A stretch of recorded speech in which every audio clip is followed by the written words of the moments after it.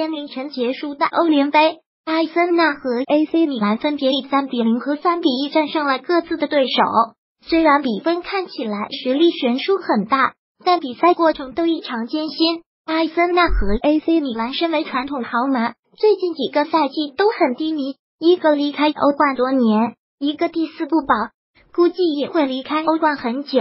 上赛季欧联杯两队相遇，阿森纳淘汰了米兰，然后埃森纳又被欧冠下来的马竞淘汰，成为了一对难兄难弟。我们来分析一下两队的近况。埃森纳这个赛季最大的人员变动就是温格的离开，新主帅埃梅里接过了教授的教鞭。不得不说，埃梅里执教能力还是很不错的，一直在尝试着不同的阵型，同时也没有忘记对新人的培养。而且最重要的是，阿森纳现在已经各项赛事八连胜了，一扫开局两连败的阴影。如果不出意外，在打利物浦之前。阿森纳应该还会一直赢下去，毕竟对手都不是很强。阿森纳之所以战绩这么好，和夏季引援是脱不开关系的。阿森纳在这个夏天一口气吃进了四名球员，相比之前教授在的时候的最里阵，球迷应该会替教授打抱不平。阿森纳现在中场储备了大量的球员，而且新援托雷拉和小将古恩多奇一起解决了阿森纳腰不硬的问题。再加上扎塔和埃尔内尼后腰人才济济，可以轻松应对多线作战。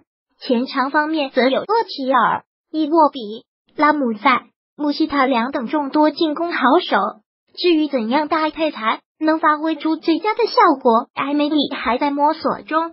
我们相信，给他一些时间，阿森纳会完成蜕变，再次成为冠军的有力竞争者。再说一下米兰。